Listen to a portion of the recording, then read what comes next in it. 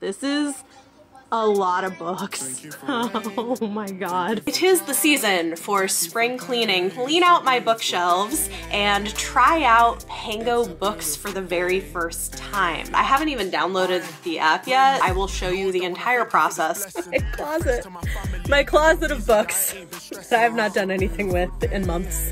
We made our first listing. Gotta say it's pretty quick and easy. Two hours in and I have 47 books listed. I have my first sale. Oh my god. Listed like 160 something, 170 maybe. And I've already sold like 10. These are the ones that I have sold. I've sold books on eBay before and I kind of stopped because it was a huge pain. But this is so much easier. You can use the code Bethany to get $5 off your first purchase of at least $20. You cannot use the codes on the desktop website. You have to actually install the app